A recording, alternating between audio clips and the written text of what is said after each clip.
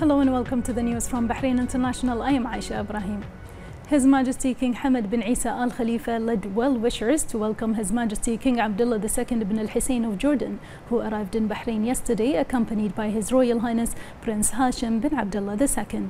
Also present to welcome the Jordanian monarch were His Royal Highness the Crown Prince and Prime Minister Prince Salman bin Hamad Al Khalifa, the personal representative of His Majesty the King, Sheikh Abdullah bin Hamad Al Khalifa, the representative of His Majesty the King for Humanitarian Work and Youth Affairs, His Highness Sheikh Nasser bin Hamad Al Khalifa, and Chairman of the Isa bin Salman Educational Charitable Trust, His Highness Sheikh Isa bin Salman bin Hamad Al Khalifa.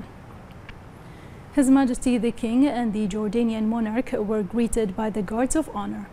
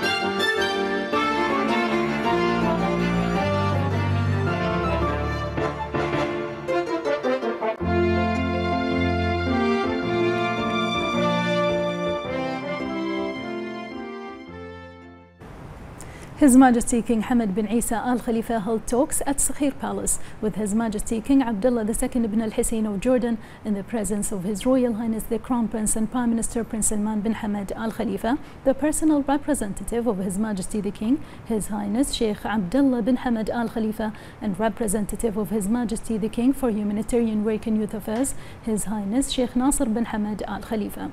Also present were His Royal Highness Prince Hashim bin Abdullah II and Chairman of the Board of Trustees of the Isa bin Salman Educational Charitable Trust, His Highness Sheikh Isa bin Salman bin Hamad Al Khalifa.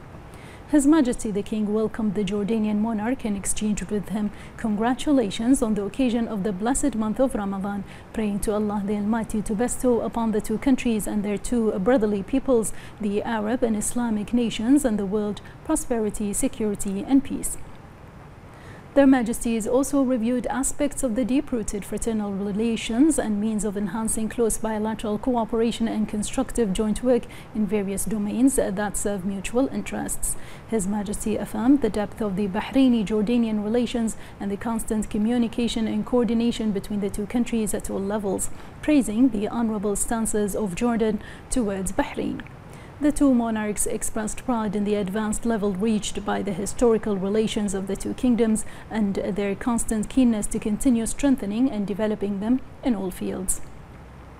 His Majesty praised the pivotal and active role played by Jordan under the leadership of His Majesty King Abdullah II in defending the interests of Arab nations and its just issues, especially the Palestinian cause, and advancing the system of joint Arab action. Their Majesties also discussed and exchanged views on the latest developments in the Middle East and the latest developments on the regional and international arenas, affirming their support for all efforts aimed at finding permanent solutions to crises in the region to consolidate the foundations of security and stability and achieve development, peace and prosperity. The Jordanian monarch expressed thanks and appreciation to His Majesty the King for the warm reception and generous hospitality, stressing the pride of Jordan and the firm bonds of brotherhood and the distinguished relations of cooperation with Bahrain. His Majesty the King held an iftar banquet in honor of His Majesty King Abdullah II and the accompanying delegation.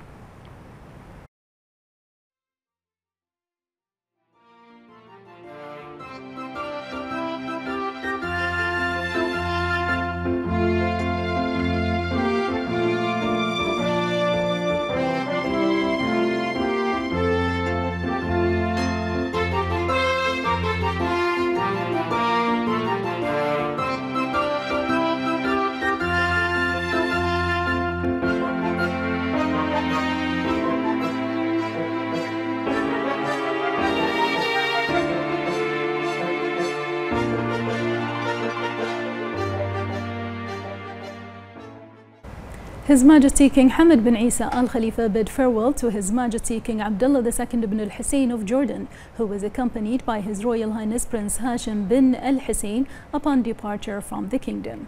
His Majesty King Abdullah II was also seen off by His Royal Highness the Crown Prince and Prime Minister Prince Salman bin Hamad Al Khalifa, the personal representative of His Majesty the King, His Highness Sheikh Abdullah bin Hamad Al Khalifa, the representative of His Majesty the King for Humanitarian Work and Youth Affairs, His Highness Sheikh Nasser bin Hamad Al Khalifa, and the Chairman of the Board of Trustees of the Isa bin Salman Educational Charitable Trust, His Highness Sheikh Isa bin Salman bin Hamad Al Khalifa.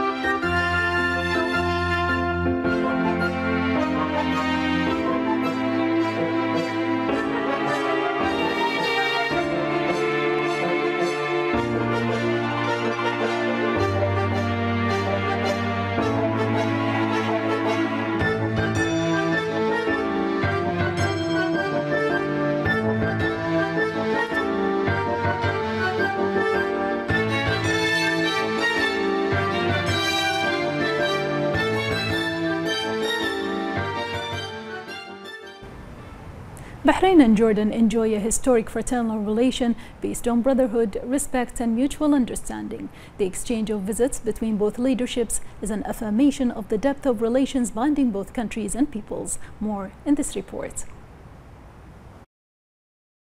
The deep-rooted fraternal tie that binds the Kingdom of Bahrain to the Hashemite Kingdom of Jordan and the strong brotherly relation between His Majesty King Hamad bin Isa Al Khalifa and His Majesty King Abdullah II ibn al Hussein constitute the cornerstone of the steadfast bilateral cooperation relations between both brotherly countries and peoples. The paralleled visions and keen determination of both leaderships ushered in remarkable achievements and numerous joint accomplishments across all fields. The exchange of high level visits confirmed the distinguished relation between Bahrain and Jordan and the substantial political, economic, and social cooperation between both countries and peoples, making the Bahrain Jordan relation an example of successful diplomacy and a role model to be emulated. His Royal Highness the Crown Prince and Prime Minister Prince Salman bin Hamad Al Khalifa visited the majlises of Farouk Yusuf Al Muayyad and the late Ali bin Yusuf Fakhro. His Royal Highness exchanged Ramadan blessings with the hosts and guests of the Majlises. His Royal Highness highlighted Bahrain's wide-ranging achievements attained by Bahraini citizens who continue to be at the heart of the kingdom's success. His Royal Highness noted that Bahraini citizens remain a source of inspiration, adding that their creativity and innovation are the foundations of the kingdom's comprehensive development led by His Majesty King Hamad bin Isa Al Khalifa. His Royal Highness emphasized the importance of Ramadan majlises in furthering cultural bonds and preserving traditions across many generations. His Royal Highness affirmed that despite current global challenges, Bahrain is committed to implementing initiatives and projects to deliver sustainable growth and development for current and future generations. His Royal Highness emphasized the importance of strengthening public-private partnerships and ensuring that Bahrain remains an ideal destination for investment by adopting legislation that supports a business-friendly environment, which will create promising opportunities for citizens. For their part, the Majlis hosts and guests expressed their gratitude to His Royal Highness for his visit and engagement with Bahrainis and their Ramadan Majlises across the kingdom. The hosts and guests further wished Bahrain progress and prosperity under the leadership of His Majesty the King. His Royal Highness was accompanied by the Chairman of the Board of Trustees of the Isa bin Salman Educational Charitable Trust, His Highness Sheikh Isa bin Salman bin Hamad Al Khalifa, the Minister of Finance and National Economy, Sheikh Salman bin Khalifa Al Khalifa, and several senior officials.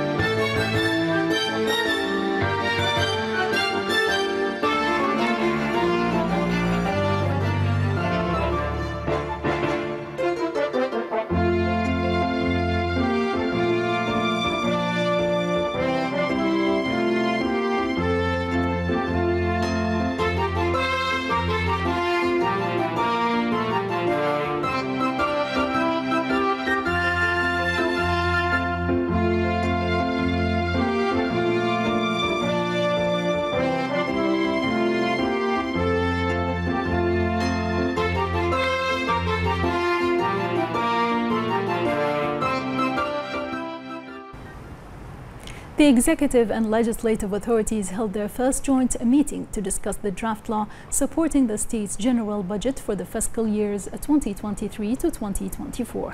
Chaired by the Representatives Council Speaker Ahmed Al-Musallam, Shura Council Chairman Ali Saleh and the Deputy Prime Minister Sheikh Khalid bin Abdullah Al Khalifa, in the presence of ministers, both councils, deputies, members of the Financial and Economic Affairs Committees, and officials. Al-Musallam affirmed that His Majesty King Hamad bin Isa Al Khalifa's directives and speech during the opening of the first session of the sixth legislative term to continue implementing economic recovery plans and the fiscal balance program and directing their positive impact on the citizens' living standards is a pillar of national action. He expressed thanks and appreciation to the government's efforts led by His Royal Highness the Crown Prince and Prime Minister Prince Salman bin Hamad Al Khalifa in preparing the general budget in which the maintenance of financial stability and positive economic growth, the creation of promising opportunities for citizens, the development of financial and economic support programs, and the achievements of a fiscal balance program were taken into consideration. He affirmed the keenness of the legislative authority to prepare the draft law and implementation of the royal directives to reduce economic burdens on citizens and subject all programs to further development. As-Saleh affirmed that discussion sessions and meetings between the two authorities will contribute to formulating a consensual vision on the state's general budget and achieve His Majesty's aspirations to exchange views that lead to the optimal investment of financial resources to implement the initiatives and projects in the government program. He noted the importance of concerted efforts to enhance Bahrain's economic growth and build on the positive results achieved by the fiscal balance program. He noted that the consensus on the state draft general budget between the legislative and executive authorities will create a plan for all development paths in the kingdom for the next two years. For his part, the Deputy Premier affirmed that the draft law embodies the priorities of joint national action. During his speech on the occasion, he conveyed the greetings of His Royal Highness the Crown Prince and Prime Minister and his wishes of success for the joint meetings. He noted the government's keenness on cooperation with the legislative authority to reach a consensus that achieves growth for the kingdom. He added that the referral of the draft law to the legislative authority comes in line with the national economy's unprecedented positive outcomes. He noted that during the preparation of the draft law, the government has taken into consideration maintaining financial stability and positive economic growth, creating promising opportunities for citizens, and developing financial and economic support programs.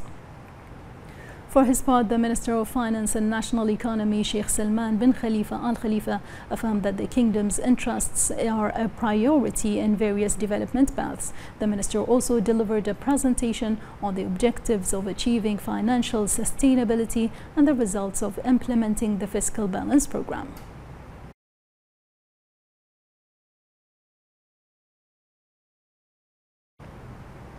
The Minister of Finance and National Economy, Sheikh Salman bin Khalifa Al Khalifa, delivered the detailed data on the draft law approving the state's general budget for the fiscal year 2023 to 2024 to the Legislative Authority during his meeting with the Representatives Council Speaker and Shura Council Chairman in the presence of the Minister of Parliament Affairs, Ghanem Al Buainain.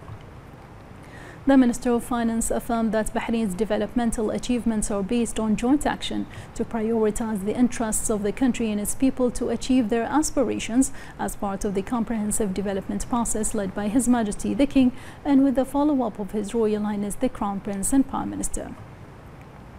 The minister highlighted the most important principles taken into account while preparing the draft general budget. He added that the delivered data includes the text of the draft law, the details of public revenues and expenditures during the budget cycle, and the data of direct government support during the aforementioned years. The minister affirmed that the ministry reiterates its endeavor to bolster cooperation with the legislative authority to complete the state budget project, noting the importance of unifying efforts to build on current achievements. The Shura Council held its weekly session presided over by its chairman Ali Saleh. The council discussed the report of the Services Committee on a draft law amended by a number of provisions of Law 18 of 2006 on social security presented by the Council of Representatives. The draft law ensures the swift provision of financial aid and comprehensive social care for those in need. The council made a decision on the final approval of the law. Bahrain joins the world in marking the World Autism Awareness Day, which is observed on April 2nd every year under the theme Transformation Toward a Neuro-Inclusive World for All. Marking the occasion, the Minister of Social Development Osama Al Asfour underlined the importance of people with special needs in the social texture, affirming the government's keenness to provide them with quality services to engage them actively in the community. He also stressed the kingdom's keenness to present a model to emulate in health and social care. The minister noted that the ministry is working on supporting non-government rehabilitation centers that are in charge of providing special services to this category. The chairman of the Sunni Endowments Council, Sheikh Dr. Rashid Al Hajri, announced the completion of the rehabilitation and maintenance of the King Khalid Mosque in Umm Al Hasam area and the Halat Bumahir Mosque in Muharraq. This comes in implementation of the order of His Royal Highness the Crown Prince and Prime Minister to launch a plan to develop places of worship in the kingdom and to open and restore and rehabilitate 30 mosques belonging to the Sunni and Jafari Endowments Directorates. Al-Hajri said that the directives of His Royal Highness stem from his keenness to follow up on the needs of citizens. He added that the Directorate is exerting all efforts and capabilities to ensure that places of worship in various governorates receive support to enable worshippers to perform their prayers in an atmosphere of tranquility and comfort. Bahrain Tourism and Exhibitions Authority revealed that the food festival at Marasi Al Bahrain attracted 168,000 visitors in two weeks. Bahrain Food Festival was widely praised by the participants, including the owners of restaurants and cafes, as well as by visitors, for the festival's contribution to highlighting the capabilities of the hospitality sector in Bahrain and the various activities it included, in addition to its remarkable contribution to the revitalization of touristic areas in the kingdom.